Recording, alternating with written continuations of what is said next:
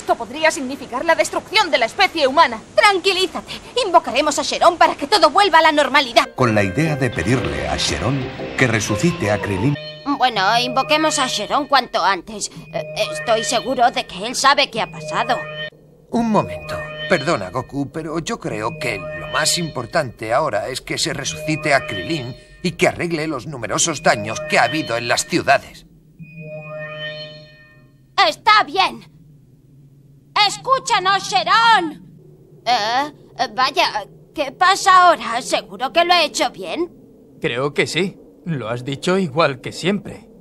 Estamos en la Tierra. Puede que debas decirlo en un tono que sea distinto. Eh, ¡Escúchanos, Sharon!